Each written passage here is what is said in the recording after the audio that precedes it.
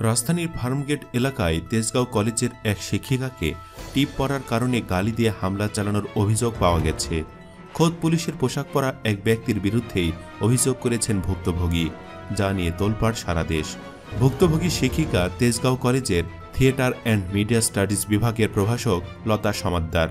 Eve teasing ও প্রাণনাশের হুমকির অভিযোগ তুলে তিনি শেরেবাংলার নগর থানায় সাধারণ ডায়েরি করেন। পুলিশ ঘটনার তদন্ত শুরু করেছে। ঘটনাস্থলের সিসিটিভি ফুটেজও সংগ্রহ করেছেন তদন্তকারীরা। তবে অভিযুক্ত ব্যক্তির পরিচয় এখনও নিশ্চিত হওয়া যায়নি। ভুক্তভোগী নারী শিক্ষকের স্বামী মলয় বালা ঢাকা বিশ্ববিদ্যালয়ের চারুকলা অনুষদের প্রাচ্যকলা বিভাগের অধ্যাপক। লতা সমাদ্দারের অভিযোগ, পুলিশের পোশাক পরা ব্যক্তি তাকে টিপ পরশোস ক্যান বলে অশ্রাব্য ভাষায় গালি দেয়। প্রতিবাদ করলে মোটরসাইকেলে থাকা সেই ব্যক্তি তার পায়ের পাতার ওপর দিয়ে মোটরসাইকেল চালিয়ে চলে যায়। এতে তিনি আহত হয়েছেন। লতা সমাদ্দার বলেন, আমি হেঁটে কলেজের দিকে যাচ্ছিলাম। হুট করে পাশ থেকে মধ্যবয়সী লম্বা দাড়িওয়ালা একজন টিপ পরশোস ক্যান বলে বাজে গালি দিলেন। তাকিয়ে দেখলাম তার গায়ে পুলিশের পোশাক, একটি মোটর বাইকের ওপর বসে আছেন। প্রথম থেকে শুরু করে তিনি যে গালি দিয়েছেন তা মুখে আনা, এমনকি স্বামীর সঙ্গে বলতে গেলেও লজ্জা লাগবে। ঘুরে ওই ব্যক্তির মোটরসাইকেলের সামনে গিয়ে দাঁড়াই। তখনও তিনি গালি দিচ্ছেন। একসময় আমার পায়ের পাতার ওপর দিয়েই বাইক চালিয়ে চলে যান। ওই শিক্ষিকা বলেন, সকাল আটটা বিশ মিনিটের দিকে ঘটনাটি ঘটে। এই ঘটনার পর থেকে আমি নিজেকে নিরাপদ মনে করছি না। ইফটিজিংয়ের প্রতিবাদ করলে আমাকে হুমকি দেয়। ঘটনাটি আমার কলেজ কর্তৃপক্ষকে জানিয়েছি, থানায় অভিযোগ করেছি। তিনি বলেন, এর আগেও রাস্তাঘাটে বিভিন্ন সময় বাজে কথা শুনতে হয়েছে।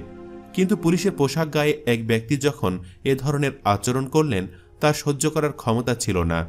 অভিযোগে বলা হয় ঢাকা বিশ্ববিদ্যালয়ের আবাসিক বাসা থেকে রিকশায় করে আনন্দ সিনেমা হলের সামনে নামেন তেজগাঁও কলেজে থিয়েটার অ্যান্ড মিডিয়া স্টাডিজ বিভাগের প্রভাষক লতা সমাদ্দার। সেখান থেকে হেঁটে তেজগাঁও কলেজের দিকে যাচ্ছিলেন। তখন সে যান পয়েন্টের সামনে এক পুলিশ সদস্য স্টার্ট বন্ধ করে রাখা মোটর সাইকেলের ওপর বসেছিলেন। কপালে টিপ পরায় ওই পুলিশ সদস্য তাকে অকথ্য ভাষায় গালিগালাজ করেন। তার আচরণের প্রতিবাদ করায় তিনি গাড়ি স্টার্ট দিয়ে শিক্ষিকার গায়ের ওপর দিয়ে চালিয়ে দিয়ে প্রাণনাশের চেষ্টা করেন। লতা সমাদ্দার সরে গিয়ে প্রাণ বাঁচাতে চেষ্টা করেন, যদিও বাইকের নিচে পড়ে গিয়ে আঘাত পান। লতা সমাদ্দার জানান, ঘটনার পর রাস্তার বিপরীত পাশে কর্তব্যরত তিনজন ট্রাফিক পুলিশের কাছে গিয়ে তিনি ঘটনাটি বর্ণনা করেন। এই তিনজনের মধ্যে একজনের নাম অভিজিৎ। তারাই থানায় অভিযোগ করতে পরামর্শ দেন। আশপাশের কয়েকজন লোক একটু দূর থেকে ঘটনাটি দেখছিলেন। তবে কেউ এগিয়ে আসেননি। ঘটনাটি নিয়ে সারা দেশে এরই মধ্যে আলোড়ন সৃষ্টি হয়েছে। এমনকি সংসদে পর্যন্ত কথা উঠেছে। সংসদ সদস্য ও জনপ্রিয় অভিনেত্রী সুবর্ণা মোস্তফা এ নিয়ে প্রতিবাদ করেছেন। ঘটনাটি নিয়ে নানানজনে নানান মন্তব্য করছেন। তবে জনপ্রিয় আলেম ও ইসলামী স্কলার শায়ক আহমদুল্লার একটি বক্তব্য মনে ধরেছে। তাতে তিনি বলেছেন, কপালে টিপ দেওয়া নারীকে রাস্তায় কেউ হেনস্থা করলে সেটা নিন্দাযোগ্য কাজ। কোনো নারীকে হিজাবের কারণে হেনস্থা করা হলে সেটাও নিন্দনীয় ও অন্যায় কাজ। টিপ নিয়ে আমাদের মিডিয়া ও সুশীল সমাজ যত সরব, হিজাবের বেলায় কেন তারা এমন সরব হন না?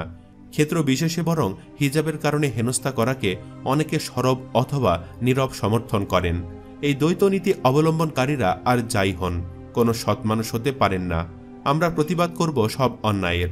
টিপ নিয়ে রাস্তায় কটু মন্তব্য যেমন অগ্রহণযোগ্য হিজাব পড়তে বাধা দেওয়া তার চেয়ে বেশি অগ্রহণযোগ্য, কারণ প্রথমটি ব্যক্তির চয়েস মাত্র, দ্বিতীয়টি ব্যক্তির চয়েস ছাড়াও ধর্মীয় স্বাধীনতার বিষয়। সুপ্রিয় দর্শক, টিপ ইস্যুতে শায়ক আহমদুল্লাহ সাহেবের বক্তব্যের সাথে আপনিও কি একমত? একমত হলে ভিডিওটির কমেন্ট বক্সে অবশ্যই ইয়েস লিখুন। দ্বিমত হলে ন লিখে জানিয়ে দিন আপনার ভাবনা। ভিডিওটি ভালো লেগে থাকলে অবশ্যই একটি লাইক দিন, সেই সাথে আমাদের চ্যানেলটি সাবস্ক্রাইব করে পাশে থাকা বেল বাটনটিতে ক্লিক করে রাখুন। ধন্যবাদ।